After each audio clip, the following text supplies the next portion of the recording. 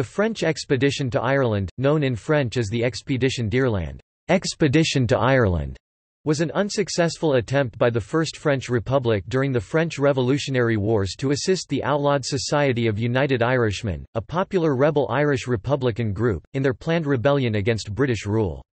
The French intended to land a large expeditionary force in Ireland during the winter of 1796–1797 which would join with the United Irishmen and drive the British out of Ireland. The French anticipated that this would be a major blow to British morale, prestige and military effectiveness, and was also intended to possibly be the first stage of an eventual invasion of Britain itself. To this end, the French Directory gathered a force of approximately 15,000 soldiers at Brest under General Lazare Hoche during late 1796, in readiness for a major landing at Bantry Bay in December. The operation was launched during one of the stormiest winters of the 18th century, with the French fleet unprepared for such severe conditions. Patrolling British frigates observed the departure of the fleet and notified the British Channel Fleet, most of which was sheltering at Spithead for the winter. The French fleet was subject to confused orders as it left port and was scattered across the approaches to Brest. One ship was wrecked with heavy loss of life and the others widely dispersed. Separated, most of the French fleet managed to reach Bantry Bay late in December, but its commanders were driven miles off course and without them the fleet was unsure of what action to take, with amphibious landings impossible due to the weather conditions, which were the worst recorded since 1708. Within a week the fleet had broken up, small squadrons and individual ships making their way back to Brest through storms, fog and British patrols. The British were largely unable to interfere with the French fleet before, during or after the invasion. A few ships operating from Cork captured isolated French warships and transports, but the only significant British response came from Captain Sir Edward Pellew, who was able to drive the French ship of the line Droits de l'Homme ashore in the action of 13 January 1797 with the loss of over 1,000 lives. In total, the French lost 12 ships captured or wrecked and thousands of soldiers and sailors drowned, without a single man reaching Ireland except as prisoners of war. Both navies were criticized by their governments for their behavior during the campaign, but the French were encouraged to launch a second attempt in 1798, successfully landing 2,000 men in August but failing to influence the Irish rebellion and again losing significant numbers of men and ships.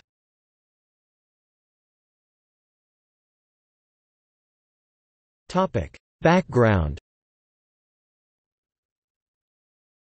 Following the French Revolution in 1789, the cause of republicanism was taken up in many countries, including the Kingdom of Ireland, at that time ruled by the Kingdom of Great Britain. Opposition to British rule had existed in Ireland for centuries, but the French example, combined with the imposition of the penal laws which discriminated against the Catholic majority and a large Presbyterian minority, prompted the creation of the Society of United Irishmen, a broad non-sectarian coalition of groups seeking to create an Irish republic. Initially a non-violent political movement, the United Irishmen were forced to operate as a secret society after membership was made illegal in 1793 at the outbreak of the French Revolutionary Wars. Deciding that their only hope of creating the Irish Republic lay in armed revolt, the United Irishmen began secretly organising and arming their forces. In search of external aid, two of their leaders, Lord Edward Fitzgerald and Arthur O'Connor travelled to Bâle to meet with French General Lazare Hoche. Their efforts were supported by Protestant Dublin lawyer Theobald Wolfe Tone, who travelled to Paris to appeal to the French Directory in person. During this period, the British government repealed some of the penal laws. In an attempt to quell unrest, the First French Republic had long planned an invasion of the British Isles, but their ambitions had been repeatedly thwarted by other factors, including other fronts of the Revolutionary Wars, the war in the Vendée, and the parlous state of the French Navy. This latter problem was a major cause for concern. The Navy had suffered heavily from the removal of its officer corps during the Revolution and then endured a series of military setbacks, culminating in the tactical defeat at the glorious 1st of June in 1794 and the disastrous Croisière du Grand Hiver in 1795. After securing peace on several fronts in 1795, the new French Directory decided that Britain was one of their most dangerous remaining opponents, and they determined to defeat it through invasion. The applications from Tone intrigued the Directory, which understood that by attacking Ireland they would be striking at the least defensible part of the British Isles. Support for the British government was weakest there and the United Irishmen optimistically claimed to be able to raise an irregular army of as many as 250,000 waiting to join the French once they had landed, with the additional attraction that a successful establishment of an Irish Republic would prove an ideological coup for the French Republic. Finally and most significantly, a large expeditionary force in Ireland could provide an ideal springboard for an invasion of Britain, especially in combination with a plan then under development to land 2,000 uniformed criminals in Cornwall, who would distract the British Army during the invasion of Ireland and could potentially provide a beachhead for future operations.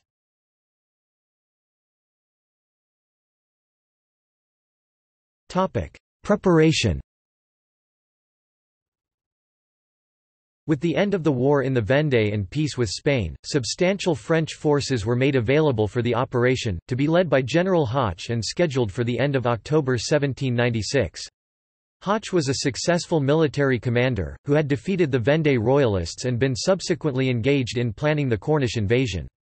A body of veteran soldiers and the entire French Atlantic Fleet were placed at his disposal, based in the major Atlantic seaport of Brest. The number of soldiers earmarked for the invasion is uncertain. The French Directory suggested 25,000 men would be required, the Irish delegates insisting that 15,000 would be sufficient. Estimates of the number of soldiers eventually embarked range between 13,500 and 20,000. Note A By August the plan was already behind schedule. Severe shortages of stores and wages slowed work at the Brest shipyards, while the troops set aside for the invasion of Cornwall proved unreliable, deserting in large numbers.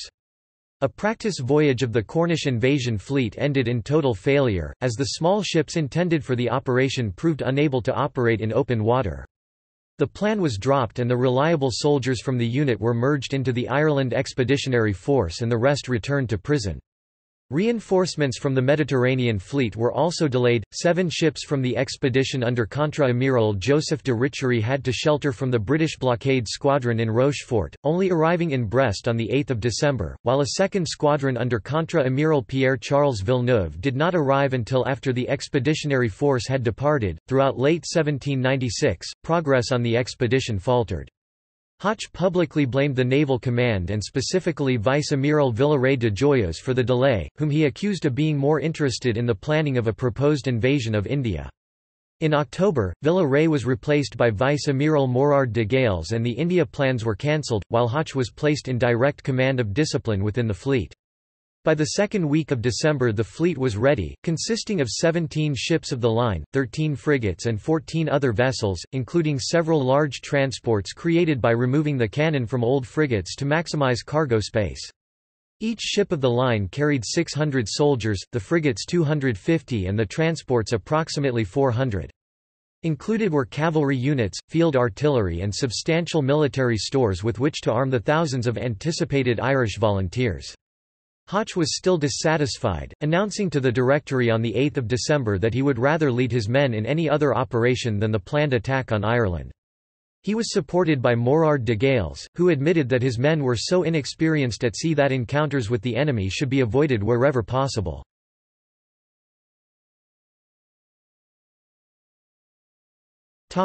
Departure Despite the misgivings of the expedition's commanders, the fleet left Brest as scheduled on 15 December 1796, one day ahead of a message from the Directory calling off the entire operation. De Gales knew that the British would be watching Brest harbour, their frigates were a constant presence as part of the inshore squadron of the blockade. In an effort to disguise his force's intentions, he first anchored in Camaret Bay and issued orders for his ships to pass through the Raz de Seine.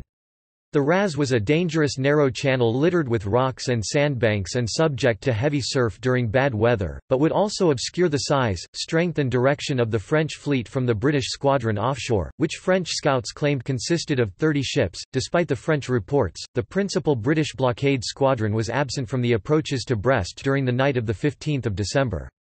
Most of the fleet had retired to one of the British Channel ports to avoid the winter storms, while the remaining squadron under Rear Admiral John Colpoys had been forced to retreat 40 nautical miles 74 kilometers into the Atlantic to avoid the risk of being driven onto the rocky French Biscay shoreline during a storm.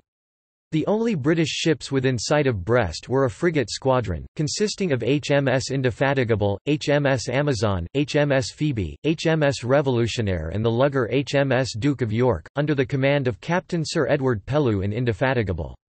Pellew had noted French preparations on the 11th of December and immediately sent Phoebe to warn Colpoys and Amazon to Falmouth, to alert the Admiralty. He remained off Brest with the rest of the squadron, and sighted the main French fleet at 1530 on 15 December, bringing his frigates inshore towards Camaret Bay to establish its size and purpose. At 1530 on 16 December, the French sailed from the bay, Pellew observing closely and dispatching Revolutionaire to assist in the search for Colpoys. Morard de Gales had spent most of 16 December preparing for passage through the Raz de Seine, situating temporary lightships in the channel to warn of hazards and giving instructions on the use of signal rockets during the passage.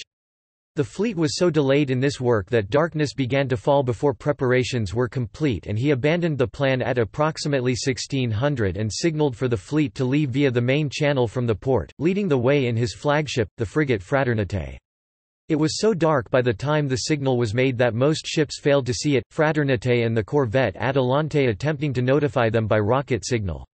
These signals were confusing and many ships failed to understand, sailing for the Raz de Seine rather than the main channel. Pellew added to the problem by weaving ahead of the fleet shining blue lights and firing rockets, further confusing the French captains as to their location. When dawn broke on 17 December, most of the French fleet was scattered across the approaches to Brest.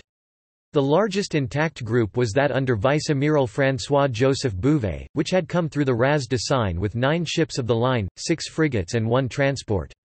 The other ships, including Fraternité, which also carried General Hoche, were alone or in small groups. The captains forced open their secret orders to discover their destination, in the absence of instructions from any commanding officers. One ship had been lost, the 74-gun ship of the line Séduisant had driven onto the Grand Stevenant rock during the night and sank with the loss of 680 lives. She too had fired numerous rockets and signal guns in an effort to attract attention, succeeding only in compounding the confusion in the fleet. Pellew, unable now to affect the large French force, sailed for Falmouth to telegraph his report to the Admiralty and replenish his supplies.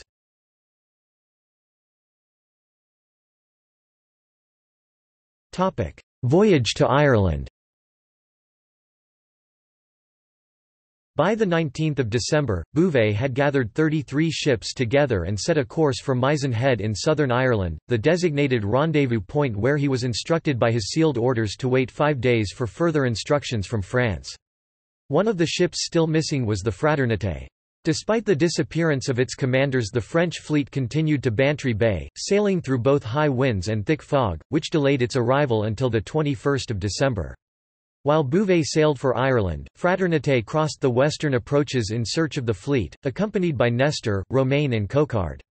Unwittingly passing Bouvet's fleet in the fog, de Gales separated from his small squadron near the rendezvous on 21 December, only to discover a British frigate immediately ahead. Retreating from the threat, Fraternité was chased far into the Atlantic before she could escape the unidentified pursuer. On the return journey de Gale found the winds against him, and it took eight days to regain Mizen Head. Phoebe did not find Colpoys until 19 December, deep in the Bay of Biscay.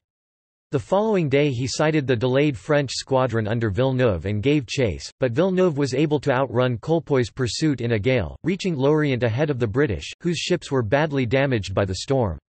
Unable to continue operations, Colpoys was forced to retreat to Spithead for repairs. The response from the Channel Fleet under Lord Bridport was similarly ineffective. News of the French departure from Brest did not arrive in Plymouth, the most westerly of the British fleet ports, until 20 December. Many of Bridport's ships, based at Spithead, were not ready for sea and it was several days before enough vessels were manned and equipped for service. The order to leave port was issued on 25 December, but the fleet was almost immediately thrown into chaos when the large second-rate HMS Prince swung out of control and collided with the 80-gun HMS Sans Pareil.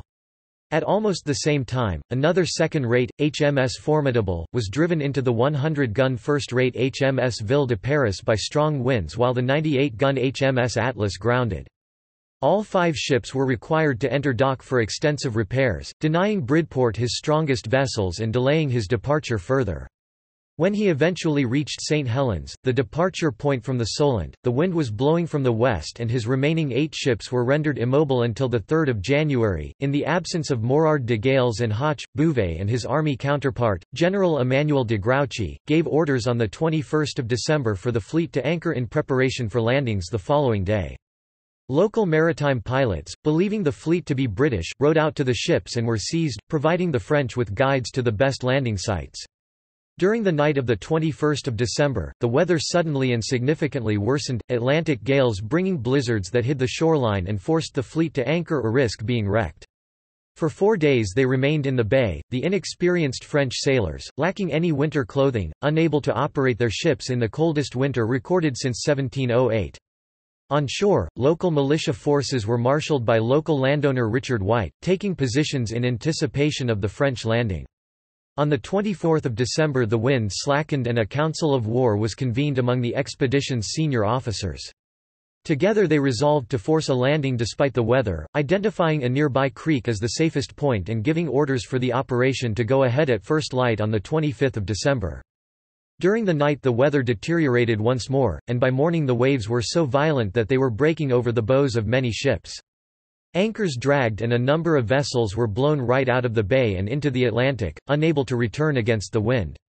In the storm, the largest ship of the line, the Indomptable, collided with the frigate Resolue and both suffered severe damage. HMS Monarch, flagship of Vice Admiral Sir George Elphinstone returning from the successful invasion of the Cape Colony, was battered by the storm and passed right through the French fleet without realizing the danger, anchoring in a disabled state at Crookhaven.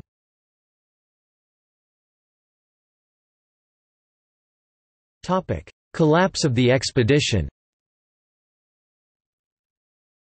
For four more days Bouvet's ships were battered by the high winds, none able to approach the shore without severe risk of being destroyed on the rocky coast.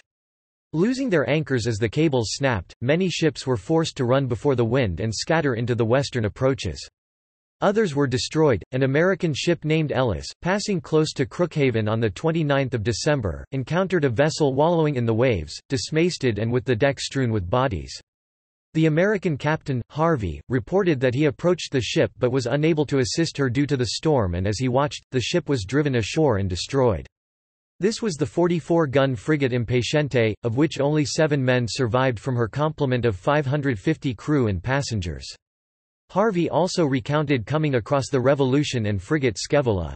Captain Pierre de Manoir Le Pelly was in the process of removing the crew and passengers from Scaevola before she foundered, the heavy weather having reduced the 40-gun razée frigate to a sinking condition. Ellis was not the only ship to discover revolution. The long-delayed Fraternité encountered the ships and observed the destruction of the Scaevola, which was burnt once she had been abandoned. Bouvet had been driven offshore in his flagship Immortalité during the storm, and when the wind fell during the 29th of December he decided to abandon the operation.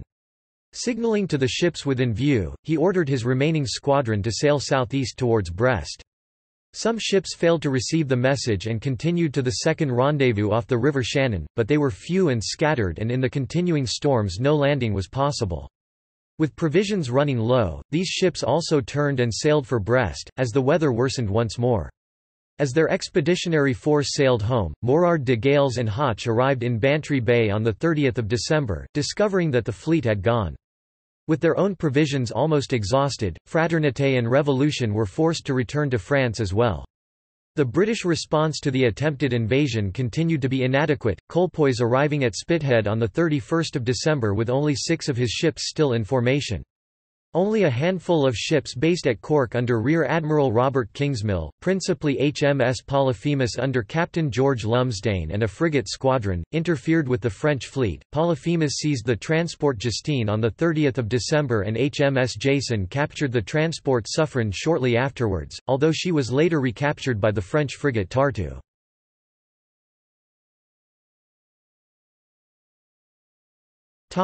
Retreat The first French ships to return to Brest arrived on 1 January, including Bouvet's flagship Immortalité accompanied by Indomptable, Redoutable, Patriot, Mucius, Fougueux and some smaller ships. They had avoided any contact with British warships and had been able to make good speed in a period of relatively calm weather.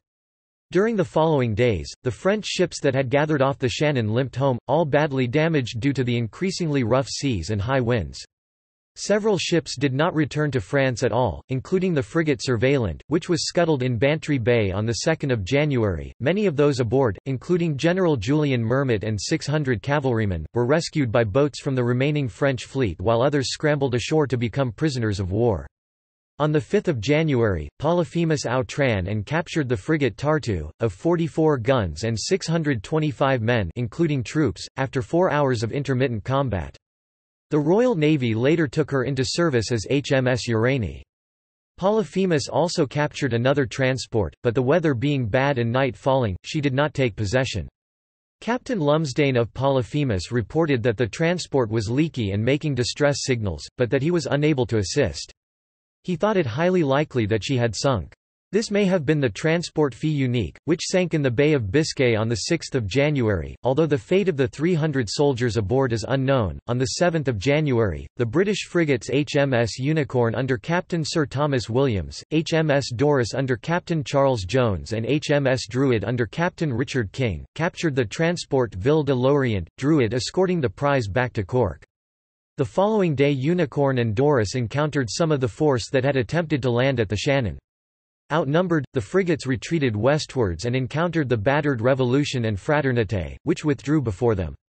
This prevented Morard de Gales and Hoche from belatedly joining their squadron and took them away from the route back to France.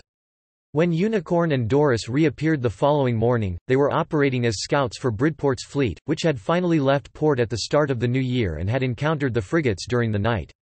Escaping pursuit in a fog, Revolution and Fraternité sailed directly for France and arrived at Rochefort on 13 January. The majority of the remaining French ships had reached Brest on of January, including Constitution, Trajan, Pluton, Wattignies and Pegasus, the latter towing the dismasted Resolue. On 13 January most of the remainder returned, including Nestor, Tourville, Aigle and Cassard with their attendant frigates, while the frigate Bravoure arrived at Lorient alone. Losses had continued as the French neared Brest, the disarmed Suffren recaptured by HMS Daedalus off Ushant and burnt on 8 January, while Atalante was outrun and captured by HMS Phoebe on 10 January. On 12 January, the storeship Allegra was captured by the brig HMS Spitfire.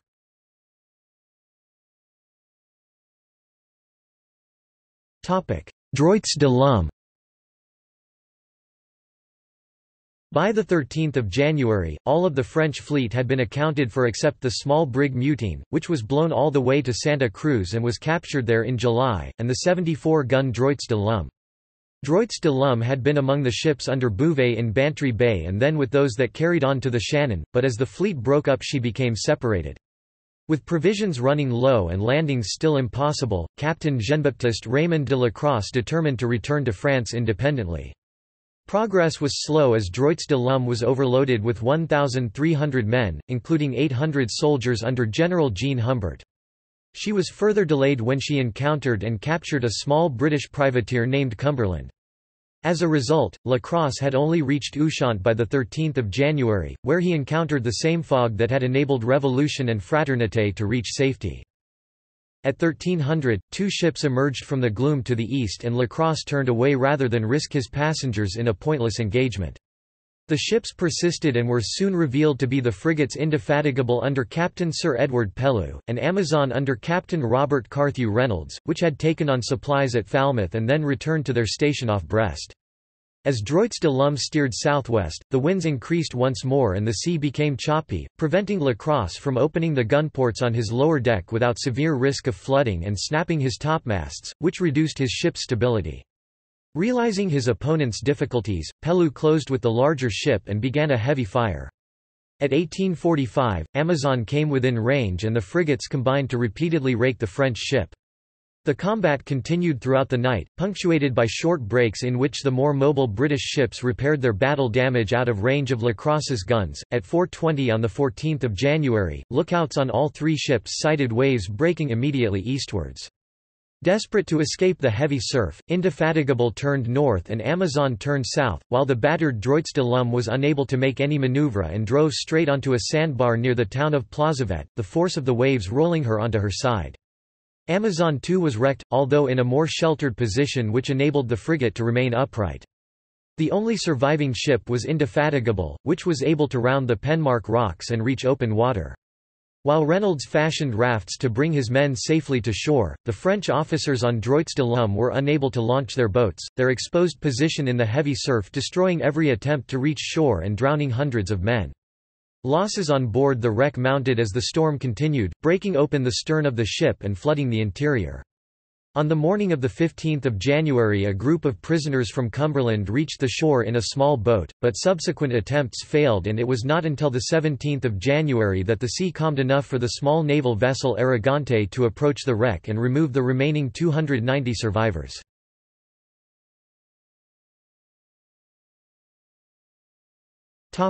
Aftermath The French attempt to invade Ireland had ended in total failure. With the exception of a handful of prisoners of war, not one French soldier had successfully landed in Ireland, despite some ships remaining off the coast for almost two weeks. Twelve ships had been lost and over 2,000 soldiers and sailors drowned. The invasion was abandoned, Hoche and his remaining men were returned to the army for service in Germany, and the general died nine months later from natural causes. The French Navy, although criticized for failing to land the expeditionary force, was also praised for successfully reaching Ireland and returning without encountering the main body of the British fleet. This achievement encouraged further invasion attempts, including a landing at Fishguard in Wales in February 1797 and a second invasion of Ireland in mid-1798. In Britain, the Royal Navy's response to the French campaign was heavily criticised, both fleets assigned to intercept the invasion fleet had failed, the only losses inflicted on the French coming from the small Cork Squadron or Pellews independent frigates. White was rewarded for his service on shore with the title Baron Bantry. At sea, Colpoys was replaced in command of the blockade of Brest by Rear Admiral Sir Roger Curtis, and extensive deployments to the Bay of Biscay were made in February and March to prevent any further French operations. In addition, reinforcements were also sent to the fleet off Cadiz under Vice Admiral Sir John Jervis, who had won the Battle of Cape St. Vincent on 14 February. These extended deployments were unpopular with the regular seamen and in April the Spithead Mutiny broke out, paralysing the Channel Fleet. The French, still recovering from their losses in the winter campaign, were unable to respond. In Ireland, the failure of the French expeditionary force was the source of great frustration. Wolfe Tone, who was aboard Indomptable throughout the voyage, reported that he felt that he could have touched either side of the bay with both hands. Postponing the uprising, Tone continued to rally support in Europe, raising a fleet in the Netherlands for an attempted invasion that ended in destruction at the Battle of Camperdown. In May 1798, a British crackdown arrested the leaders of the United Irishmen in Ireland and provoked the Irish Rebellion.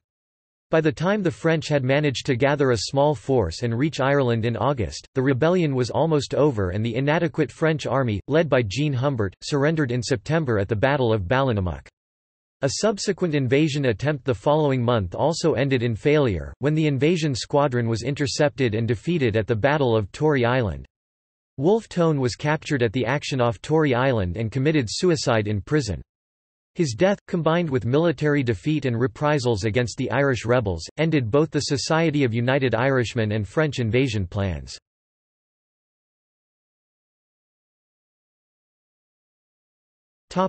See also